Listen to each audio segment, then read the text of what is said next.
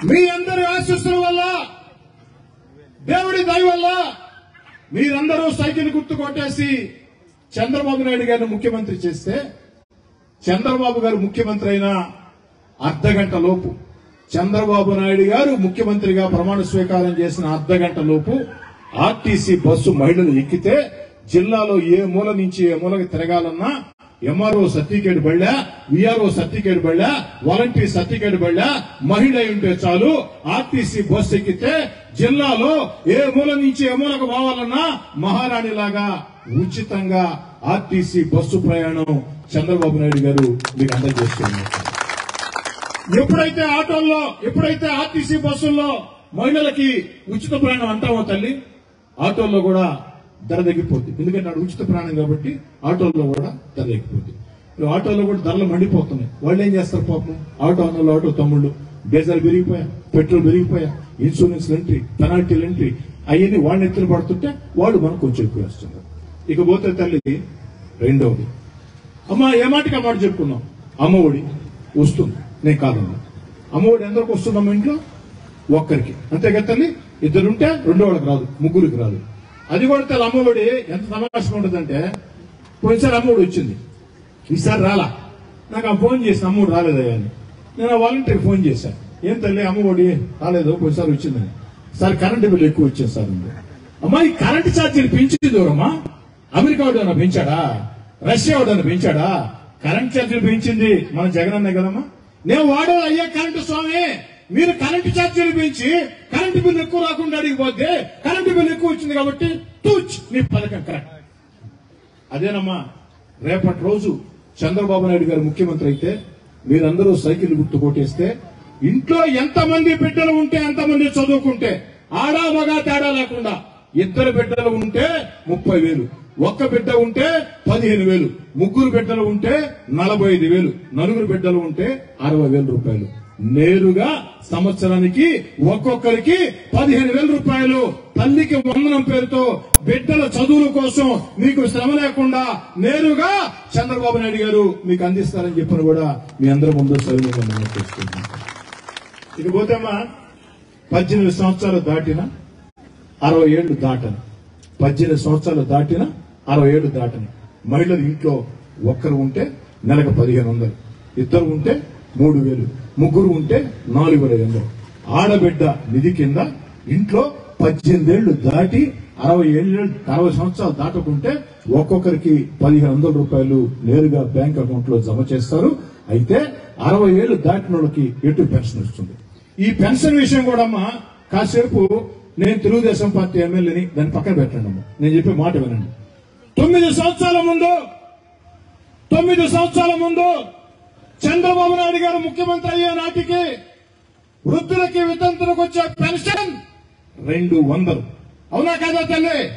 తొమ్మిదేళ్ళ ముందు చంద్రబాబు నాయుడు గారు ముఖ్యమంత్రి అయ్యే నాటికి వృద్ధులకి వితంతులకు వచ్చే పెన్షన్ రెండు వందలు. రెండు వందల పెన్షన్ని ఐదు సంవత్సరాల్లో చంద్రబాబు నాయుడు గారు పది రెట్లు పెంచి పది రెట్లు పెంచి రెండు వేలు చేశారు అవునా కదా తల్లి? ఆ రోజు చంద్రబాబు నాయుడు గారు ఐదు రెండు వేలు చేపట్టే పది రెట్లు.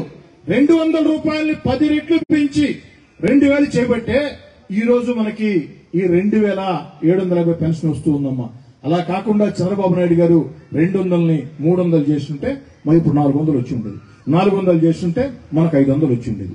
రెండు వందల రూపాయల పెన్షన్ని పది రెట్లు పెంచి రెండు వేలు చేశారు కాబట్టే మనకి ఈరోజు ఏ ప్రభుత్వ అధికారంలోకి వచ్చినా రెండు వేల కంటే పైన రావాలి తప్ప కిందకు తీసుకొచ్చే పరిస్థితి కాబట్టి చంద్రబాబు నాయుడు గారు ముఖ్యమంత్రి అయితే మీరందరూ సైకిల్ గుర్తు కొట్టేస్తే అరవై సంవత్సరాలు దాటిన వృద్ధులకి అదేవిధంగా వితంతువులకి పెన్షన్ రావడం కాకుండా ఇంట్లో ఆడబిడ్డలు ఎంతమంది ఉంటే అంతమందికి ఒక్కొక్కరికి నెలకు పదిహేను వందల రూపాయలు నేరుగా మీ బ్యాంక్ అకౌంట్లో జమ చేస్తారు.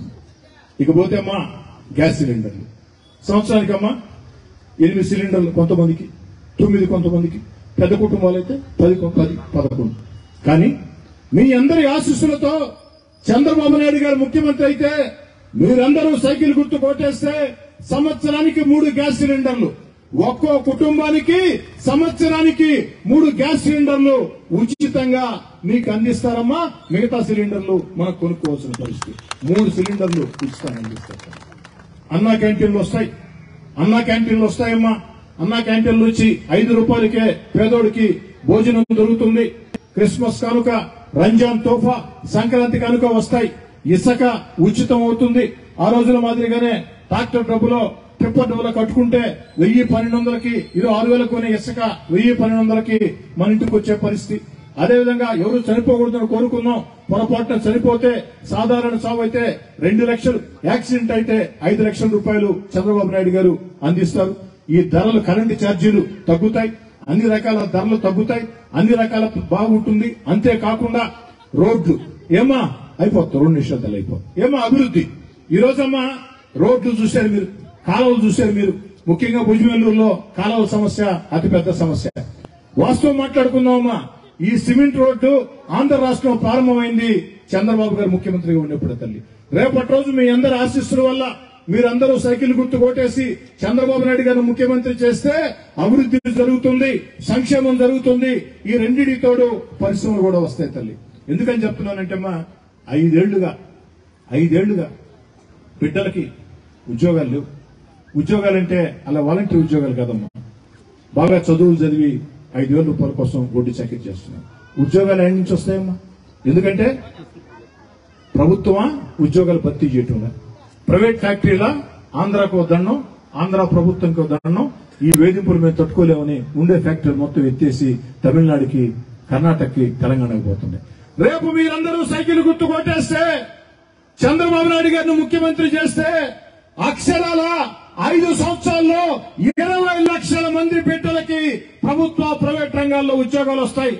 అయితే ఉద్యోగాలు ఆర్టీసీ ఛార్జీల మాదిరిగా అర్ధ గంట రావమ్మా. అది సాధ్యం కాదు తల్లి. నిజాలు మాట్లాడుకుందాం. మూడు నెలలకు కొంతమందికి వస్తాయి. ఆరు నెలలకు కొంతమందికి వస్తాయి.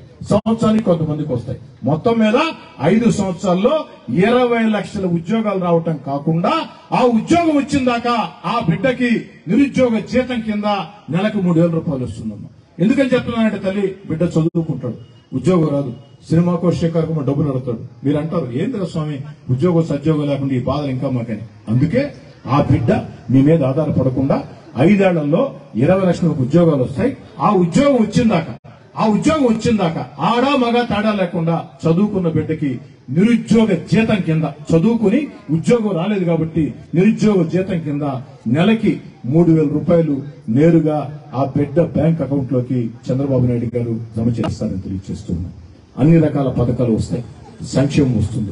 ఇప్పుడు నేను చెప్తున్నానమ్మా. నేను చెప్పిన మాటల్లో నూటికి నూరు శాతం నిజాలు ఉంటే నాకు సహాయం చేయండి అమ్మా నాకు మీరు చేయాల్సిన సహాయం ఏమీ లేదమ్మా. జెండాలు పట్టుకోబడలే ఈదుల్లోకి రాబడలే మీ సమయం వృధా చేసుకోబడలే. ఇక్కడ మీరు విన్న మాటల్ని అన్ని నిజాలైతే మీ ఇంటికి వెళ్ళిన తర్వాత ఎదురింటోళ్ళకి పక్కింటోళ్ళకి ముందింటోళ్ళకి పైనింటోళ్ళకి కిందింటోళ్ళకి పక్కిదోళ్ళకి ఆ పక్కూరోళ్ళకి లేదు పెళ్ళిళ్ళకో పేరెంటాలకో మీరు పది మంది ఒక దగ్గర కలిసినప్పుడు అక్కడ చర్చ పెట్టండి.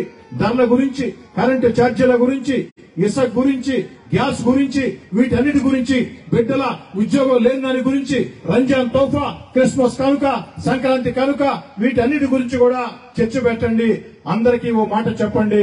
మనం సైకిల్ గుర్తు కొట్టేసుకున్నాం మనం చంద్రబాబు నాయుడు గారిని ముఖ్యమంత్రి చేసుకున్నాం మనం తెలుగుదేశం పార్టీ గెలిపించుకున్నాం మనం తెలుగుదేశం పార్టీని గెలిపిస్తే మనం సైకిల్ గుర్తు కొట్టేస్తే మనం చంద్రబాబు నాయుడు గారిని అభివృద్ధి చేస్తే మంచి పథకాలు అభివృద్ధి బిడ్డలకు ఉద్యోగాలు వస్తాయి అన్న ఒక మాట చెప్పండి.